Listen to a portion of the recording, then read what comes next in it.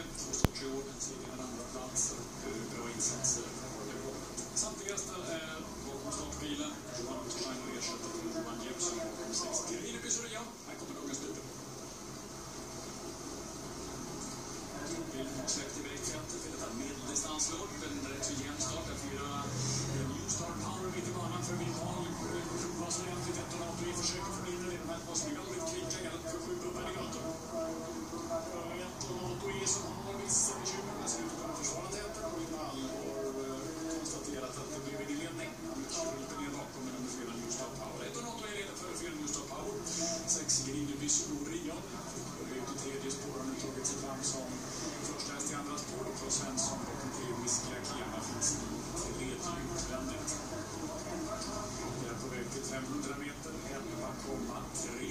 Ganska snabb inledning till. Och Svensson noterar att farten blir närmare blod och han sats med tre riskiga Akema för att inte lämna Stefan Söderqvist och ett Montoé ensamma i ledningen. Som minst rutinerad i loppet. Och har gjort åtta starter faktiskt. Fem segrar, tre andra platser. Aldrig varit sen två så här långt alltså.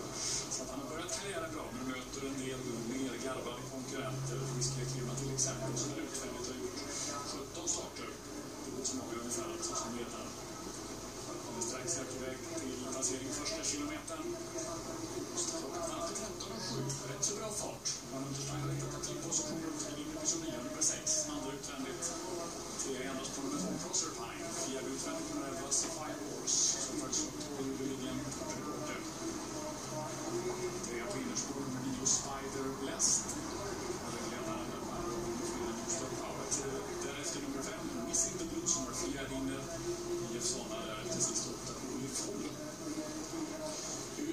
Sista långsidan, tre Whisky Akema.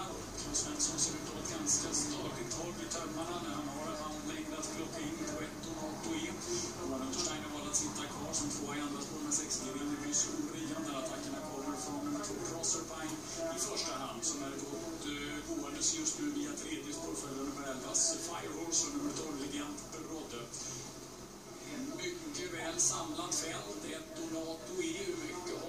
Hans eh, mycket i sin häst? Tre Whisky Akema finns utvändigt. Två Proserpine jobbar i spåret. Sex Grinebys Orion vill ha lucka från andra utvändigt. Det blir också fyra Newstar Power från ryggledaren. Här kommer elva Firehorse ut i banan.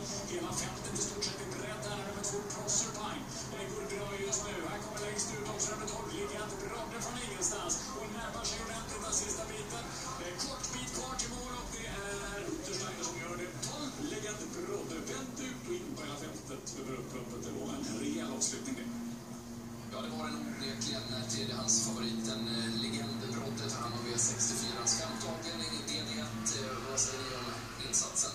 Ja, den är ju jättebra. Han är ju sist nu och svänger in i sista kurvan och hinna fram. Men det hade varit ganska bra fart första varvet så att han var ju, annars är han ju chanslös från ett sånt här läge. Donato är travade ju mycket, mycket bättre idag än han gjorde senast med Mantorp han, han håller ju ändå okej. Okay. Han får ge sig till de andra platsen och Proserpine, men han behövde nog